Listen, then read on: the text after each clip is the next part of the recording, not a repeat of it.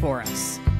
January, February, March, April, May, June, July, August, September, October, November, December. January